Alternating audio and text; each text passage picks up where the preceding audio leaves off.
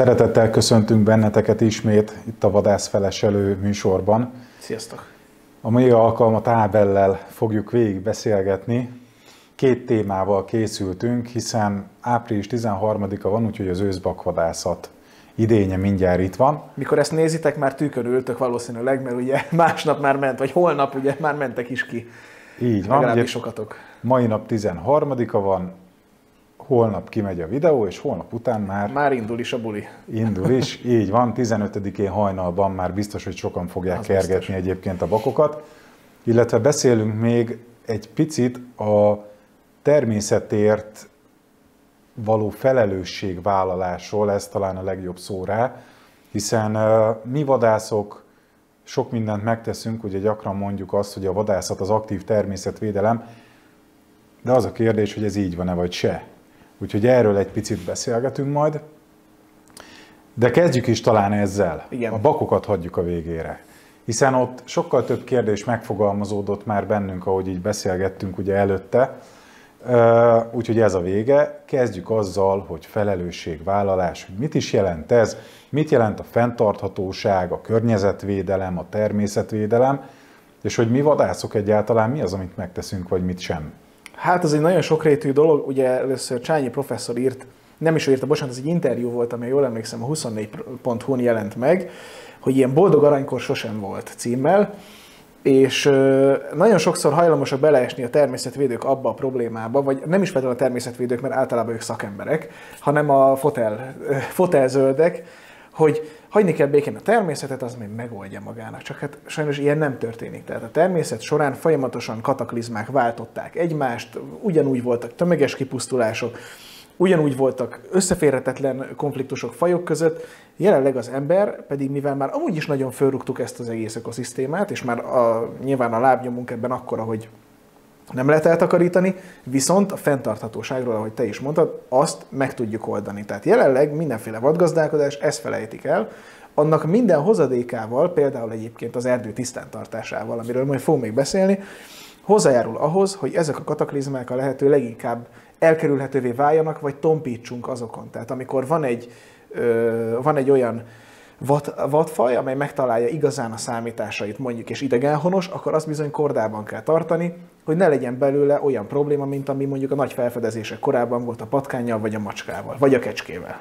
Igen, itt ugye elhangzott tőled is ez a fenntarthatóság, hogy mi ezért dolgozunk, de egyáltalán ez ugye honnan jön ez a fogalom, mert hogy fenntarthatóság, tehát a természet ugye kompenzál, mindig kompenzál. Hogyha egy fajt nézünk, túlságosan felszaporodik az állomány, mit csinál a természet?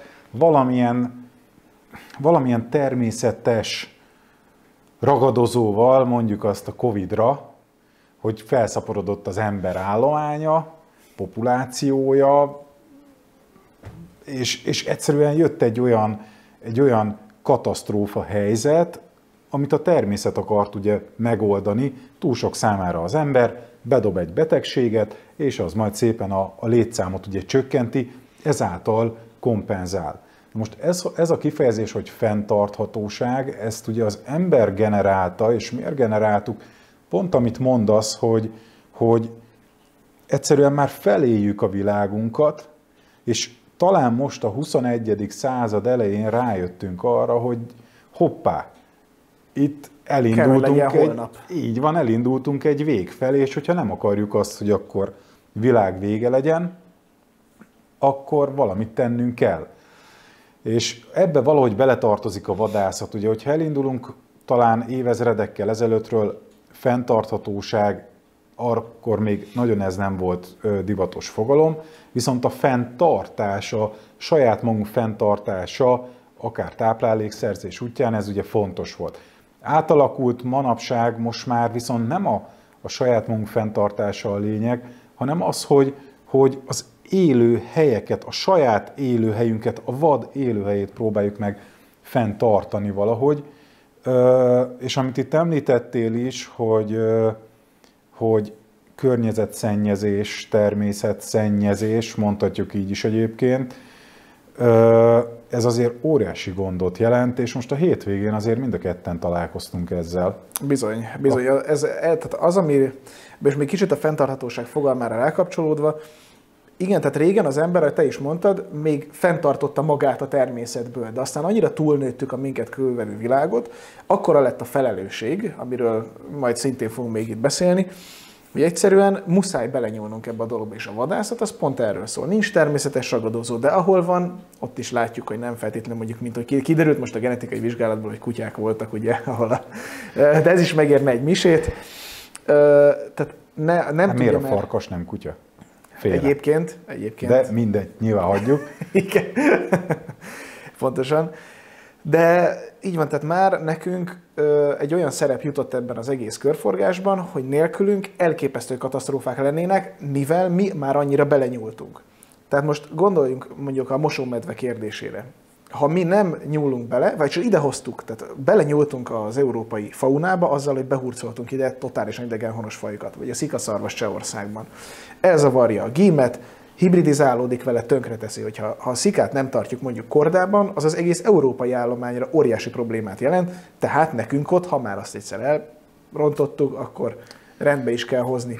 Tehát itt, itt igazából igen, a felelősségről van szó, de ez nem csak a vadászatról szól ám, mert hiszen pont ugye a szemétszedésről, ahol mindketten voltunk itt a tavaszi nagy takarítás keretében, én Nagykörösön, te pedig, ha jól tudom, Fejér megyében, ott a kamera által szervezett szemétszedésen, hogy hiába próbálom mi aktívan részt venni egész év során a vadállomány kordában tartásával, egészségesen tartásával, fitten tartásával és fenntartásával, hogyha egyszerűen a lakosság, aki, akinek sokszor fogalma sincs, hogy mi történik az erdőn egyébként, vagy mi történik körülötte, azt hiszi, hogy minden az övé, és csak így él bele a vakvilágban, anélkül, hogy belegondolna, hogy mondjuk az a tévé, amit kidobott az útszélére, vagy az a hatalmas zsák pelenka, az nem biztos, hogy szolgálja a túlélését. Igen, és ugye nagyon gyakran lehet találkozni olyan képekkel, amit a vadásztársak töltenek fel, hogy a, a vaddisznó lábán rajta van, sőt ez, ez saját példa, rajta volt egy ilyen nagyon vastag gumigyűrű, ami valamilyen gépről eshetett akár le, uh-huh.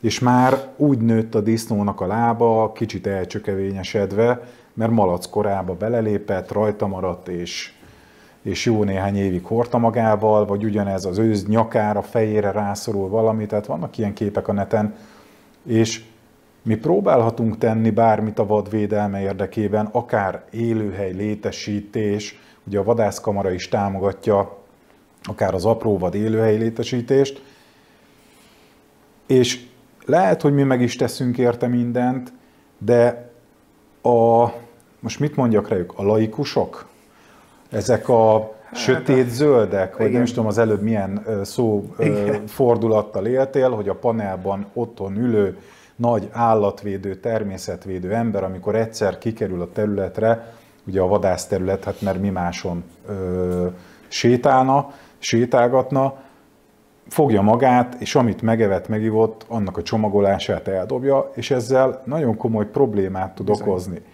És lehet, hogy mi lőjük az állatot, és megöljük, és, eh, és mi vagyunk a legrosszabb emberek a világon, de ugyanakkor ez nagyon rádöbbentett engem is egyébként ez a hétvégi szemétszedés, hogy, hogy egyszerűen iszonyatosan felelőtlen az ember.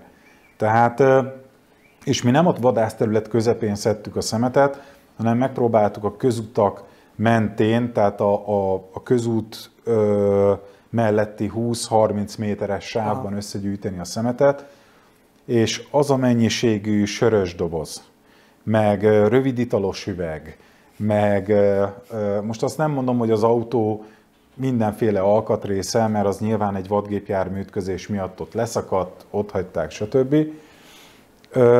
De az, amikor valaki autózik és fogyaszt valamit, és egyszer csak kidobja, vagy amit te mondtál, hogy pelenka, hogy ott a kocsiba kicserélte, és akkor egyszer csak úgy gondolta, hogy büdös hát, és kidobja?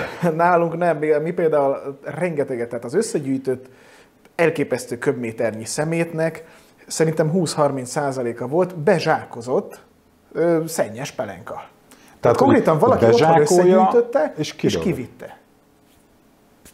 Tehát nincs otthon kuka, nincs otthon szemétszállítás, Számomra ez egy, ez egy elképesztő kérdés. Hát sajnos címet nem találtunk, mert egyébként Igen, vissza, visszavittük volna a feladónak. Ilyenről viszont tudok egyébként, tehát nem azt mondom, hogy saját példa, hanem nagyon-nagyon közeli példa. Bezsákolás, és lerakták annak az udvarába, aki kivitte, mert hogy ott voltak a számlák Bizony, egyébként. bizony. Csak hogy, hogy hogy jut eszébe valakinek az, hogy ezt megfogja és oda vigye ki, mikor akár bizonyos körzetekben van rá lehetőség, hogy adott mennyiségig ingyenesen Igen. rakja le például a szemét lerakóban. És akkor itt ugye megint felmerül a, a nagy kérdés, hogy, hogy miért mi vagyunk a szemetek, hogyha egyszer gazdálkodunk a vaddal, ami egyébként óriási vadkárt tud okozni, és mellette azok, akik a szemetet lerakják, és most csak a szemétnél maradok, Igen. semmi másról nem beszélünk, az ilyen mérgezésektől kezdve, stb. azt nem is veszem most ide. Tehát, hogy aki a szemetet lerakja, őt meg nem találjuk meg, nem tudjuk, hogy kicsoda, mert egyébként azt nem legálisan csinálja, tehát nem utánkövethető. Szerintem ez a méretetlen nagy gőg az, ami benne van az emberben, hogy kimegy, és hát enyém az erdő. Én vagyok az ember, a teremtés koronája, itt minden az enyém, most kirakom a szemetet, hát most ez a kis zsák szemét itt a 6000 hektáron ugyan zavar. És akkor visszatérve felelősségvállalás, hol van a felelősségvállalás? Hát, vagy, vagy ki miért vállal felelősséget? Mert mi felelősséget vállalunk a vadért, hiszen ez a jogszabályban benne is, jogszabályokban benne van, de az is benne van, hogy nem lehet illegálisan szemetet lerakni. És akkor itt, itt vannak olyan határvonalak, amit hát az egyiket átlépem, a másikért meg rohadjál meg, hogy megcsinálod. Ja. Tehát, hogy itt, itt közösen tudnánk csak létezni kint a természetben, és ugye a tavaly, tavaly előtti év, ezek a covidos évek azért rengeteg embert kivonzottak a természetbe, viszont ezzel együtt sajnos a szemetelés is megnőtt. Bizony. Úgyhogy uh, itt nekünk vadászoknak, és ezt te említetted még így a beszélgetés előtt, hogy, hogy esetleg összefogni más szervezetekkel, akár a természetvédelemmel, természetvédelmi szervezetekkel, akár annak érdekében, hogy megtisztítsuk a, a természetet. Igen, sajnos minden zsák szemét mellé nem állíthatnak rendőrt, vagy mezőrt, vagy bármit. Nem lehet mindenkire hatni, hülyék is mindig lesznek, de sokat szoktam azon gondolkodni, hogy mi lenne a megoldása ennek az egésznek, vagy hogy lehetne csökkenteni. Ebbe biztos vagyok, hogy azt lehetne, meg, megoldani sajnos nem, mert az a baj, hogy ilyen hitvány emberek mindig lesznek. Viszont az, hogy ennek hogy lehetne még jobban elejét venni, ez egy jó kérdés. Oktatás. Mm. Ugye az oktatás színvonalát kell emelni, amit mi is nagyon gyakran csinálunk, ugye ez a gyerekoktatás. A gyerekeket lehet az alsós, és még azt mondom, hogy felsőből is, az ötödikes, hatodikos gyerekeket még azért elég jól meg lehet fogni, és lehet elültetni gondolatot a fejükben. Ö, Talán ez az edukáció lehet az egyetlen egy olyan, olyan megoldás, ami a jövőre nézve megoldás, és lehet, hogy 5-10-15 év múlva érik csak be, uh-huh. de bízom benne, hogy hát, ha ez a vonal. Hát reméljük, talán más nem tudok én sem elképzelni.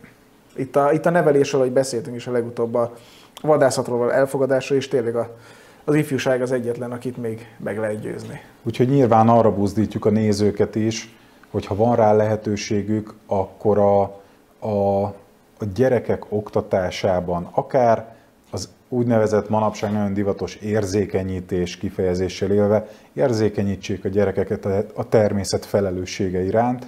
Itt a vadásztársakhoz szólunk elsődlegesen, hogyha lehetőségetek van iskolába bemenni, vagy óvodába bemenni, és ott picit a vadfajokról, a vad élőhelyéről, néhány ökológiai összefüggésről beszélni, akkor tegyétek meg, mert ezzel tudunk valamilyen jövőképet, pozitív jövőképet elérni. Meg talán az egyéni, fele, egyéni példamutatással. Tehát, hogy járjunk elő példával a kisközösségben, ha még csak a vadászatra gondolunk, akkor én ott a heróton van, amikor gusztustalan szemetes egy les. És erről nem, mert ugye sokan azt mondják, hogy a miért nem takarít a hivatásos vadász, mert nem ez a dolga. Tehát ha oda megyünk, ne hagyjuk ott például a szemetünket. Ez egy nagyon apró dolog, de itt kezdődik szerintem minden. És ha már ezt említed, fácánozások, apró vadvadászatok De jó alkalmával, ugye az üres hüvelyeknek, üres eldobált hüvelyeknek a jelenléte, megmondom őszintén, hogy engem is zavarni szokott, amikor elmegyek egy vadászterületre vadászni, és beállítanak az adott lőállásokba, és ott már egyébként így halomban Nagy áll, halom, gusztustalan sörét. és akkor elmondják, hogy át ezt majd ö, össze fogják szedni, stb. stb. Oké, okay, de hogyha netán véletlenül arra téved egy turista, aki nem lehet ott, de hát azért manapság, pont amit említettél, minden mindenki, és akkor megy minden fele. Arra téved egy turista, és látja azt, hogy ilyen halomban ott állnak az üres hüvelyek. Le fogja fotózni, fölteszi a, a Facebook oldalára, és, és rögtön azt fogja mondani, hogy a vadászok. Tehát ne adjunk És ennek teret. lesz. Igen. És igaza lesz, igaza lesz. És nem a vadászat szervező hibája, pontosabban vadászat szervező, a vadgazdálkodó. Tehát, hogyha ha azt mondja nekünk ott a vadászaton, hogy hagyjátok, hogy nyugodtan majd összeszedjük. Nem. Majd én összeszedem. Amit előttem, beteszem a másik zsebbe, beteszem egy, egy váltáskába, bármibe, és majd a végén a platón, egy dobozba, bármibe ki fogom borítani. Ezt meg lehet tenni. Teljesen mindegy, hogy hány fácán repül, biztos vagyok benne, hogy van lehetősége az embernek lőni, és legalább ennyivel járjunk önmagunk előtt is, hogyha lehet. Jó, úgy érzem, hogy ezt a, a témát ö, talán kimerítettük. Ö, Viszont írjátok meg a tapasztalataitokat, hogy nálatok a területen milyen szemét van, hogy sikerült-e már rajta kapni, vagy megfogni őket. Most egy rövid sztorit még egyetek meg. Még mezőr koromban volt egy ilyen, amikor lefotózták konkrétan, amikor szemetet dobnak le a platóról, és ez volt a baj, hogy lefotózták, úgyhogy videót csináljatok, mert utána a bíróságon azt ér, azzal érvelt és meg is úszta a rohadék, hogy ők dobták éppen föl a szemetet, és azt fotózta le.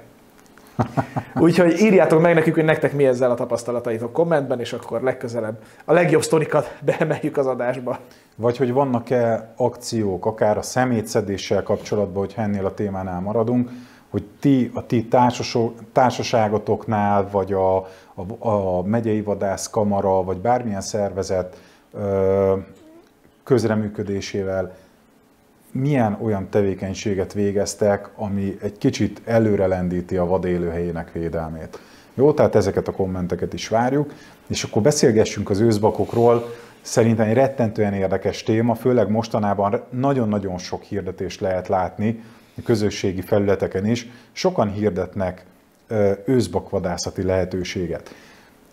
Bennem az a kérdés fogalmazódott meg, hogy, hogy miért? Miért van ennyi hirdetés? Korábban egyébként nem volt jellemző ennyire. Uh-huh. Nincs külföldi vendég? Vagy a belföldiek nem akarnak vadászni? Gazdasági probléma van? Jó kérdés, szerintem még nem ütött be annyira a gazdasági válság, legalábbis nem gyűrűzött még le a, ezekbe a rétegekbe.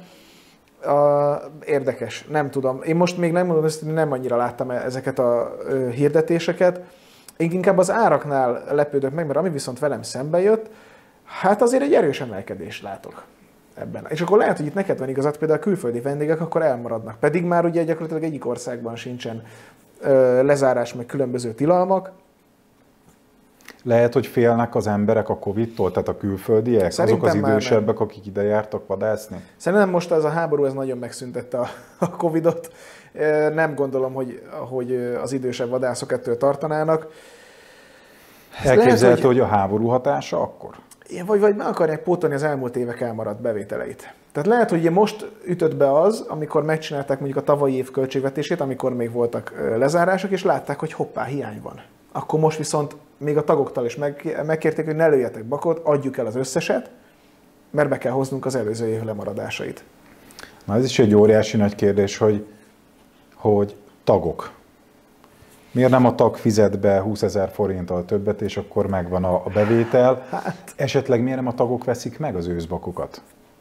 Tudunk jó példákat, ahol a vadásztárságnál a tagok átsegítették a nehéz időszakon, de hát mint tudjuk, hogy azért a, a vadász egy dolgot nem nagyon szeret, hogyha nem ingyen vadászhat, és folyamatosan legalábbis a tagság tisztelet a kivételnek, de a legtöbb vadásztárságnál a tagság, hogyha meghallja az 5000 forintos béremelést, akkor már elnököt akar váltani, meg mindenkinek a fejét követeli. Óriási kérdés lesz szerintem. Én is néztem egyébként az árakat, látom azt, hogy magasabbak, mint a tavalyi évben, de hát a paradicsom is drágább, meg az eper is drágább. Ö, illetve látjuk nagyon sok terméken, hogy drágább, tehát nyilván, hogyha mindennek megy fel az ára, Az vonza Ö, magával ezt is. és csak egy vadásztársaságnak a nagyon alap kiadásait nézzük, ami szintén ugye fölfele fog menni, akkor a bevételt is valamilyen szinten tolni kell fölfele. Ott vannak a termények, ugye most a háború miatt nagyon vizionálják azt, hogy a, az európai élelmiszerellátás az, az, az kérdéses lesz, akár ebben az évben is. Ugye most a magyar kormány, az Agrárminisztérium is vetőmaggal és műtrágyával támogatja az ukrajnai termelőket, illetve a kárpátaljai termelőket. Mondjuk ez szép dolog, hogy támogatja az a kérdés, hogy az ott lévők el is tudják-e művelni a földet, vagy sem. Milyen üzemanyagot tölt a traktorban, most épp a harckocsiba megy. De hát azért itt nagyon sok sebbe vérzik ez a dolog, hát akkor vissza Igen. a szarfhoz. Aztán az időjárást is, hogyha megnézzük, Igen. most ugyan volt két esős nap, de azért ez nem, a, nem az a, a rekordmennyiségű eső. van, persze. Úgyhogy, úgyhogy azért a kiadások biztos, hogy növekedni fognak a társaságoknál, a bevételre szükség van. Az a kérdés, hogy az őszbakok, ami ugye a a, az összes nagy vadfaj közül a legtöbbet őszből lőjük, és hogyha a trófeás vadat nézzük, akkor az őszbaka a legnagyobb mennyiségű, ami az országban terítékre kerül. Egyrészt el fogjuk-e tudni adni, kinek fogjuk tudni eladni, és milyen áron fogjuk tudni eladni, mert lehet, hogy most magas árakon indulunk, csak hogy van-e rá kereslet. Nyilván erre is várjuk a kommenteket, hogy adott területen mi az, ami a tapasztalat jelenleg. Jönnek-e a külföldiek, vagy inkább belföldinek értik, értékesíti a társaság, hogyha belföldinek értékesíti, elfogadják-e azokat az árakat, amikkel mi találkozunk most a neten nap, mint nap, vagy esetleg próbálnak alkudni, hát nyilván a magyar ember alkud. Hát ez benne van. A, alkuszik. Nem megalkuvó, de alkuszik. Igen. Úgyhogy nagyon sok kérdés, illetve egy nagyon fontos kérdés. Ugye április 15. A természet talán szerintem egy picit még hátrébb jár, mint amennyire szokott. Érdemes április 15-én őszbakot lőni.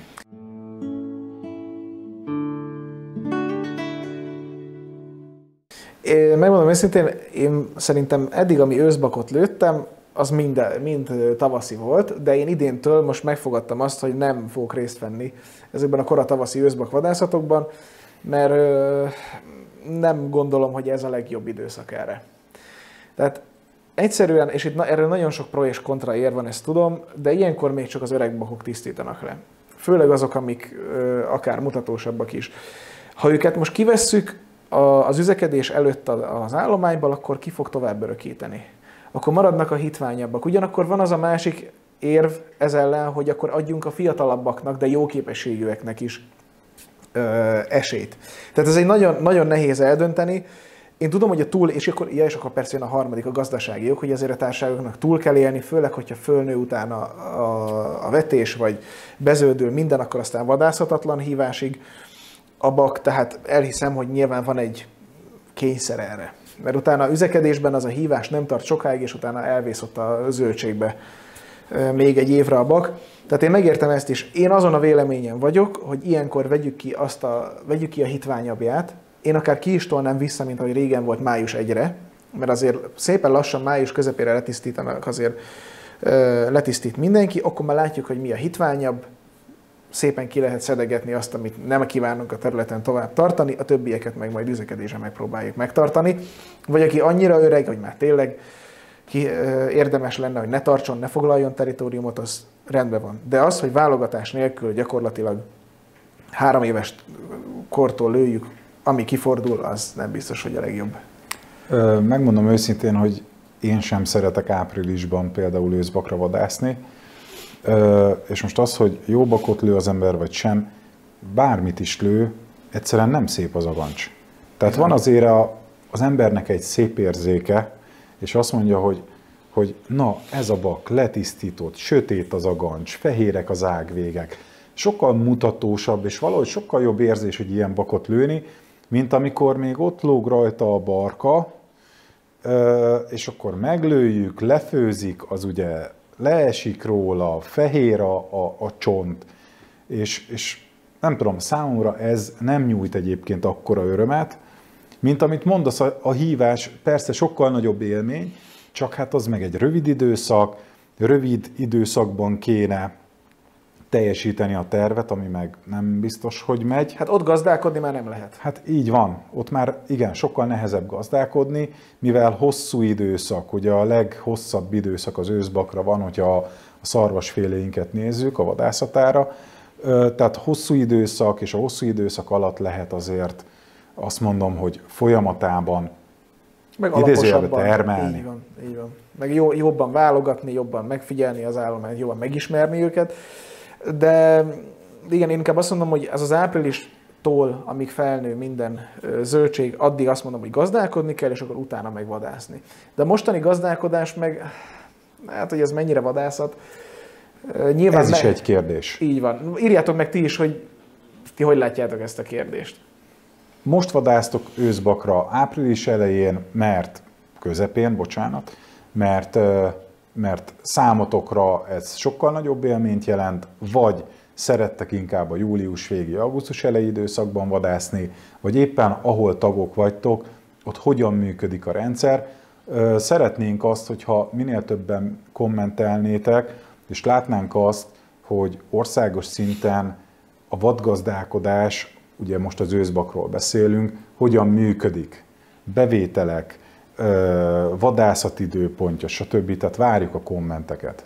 Mára ezzel a két témával készültünk nektek, nagyon sok kérdést is kaptatok, úgyhogy írjátok meg nekünk ezekre a válaszokat, mert nagyon kíváncsiak vagyunk, hogy nektek mik a tapasztalatok a területen a szemét problémával, sikerült-e már rajta kapni, és hogyha sikerült megfogni, akkor hogyan sikerült mindezt, valamint, hogy szerintetek hogyan is kéne kinézni az őszbak vadászati idényének. Jó-e az április 15-i kezdés, vagy inkább maradjon a későbbi, esetleg toljuk kijebb akár még, vagy lehessen tovább vadászni.